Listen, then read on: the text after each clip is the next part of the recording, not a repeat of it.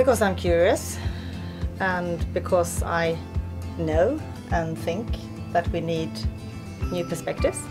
Uh, I want new perspectives as an individual, but I also want Microsoft to have new and broader perspectives. And I thought that this was a great opportunity to both on an individual level, but also for the full organization to actually have a way to hold up the important mirror. I applied for uh, this program because I needed a guide.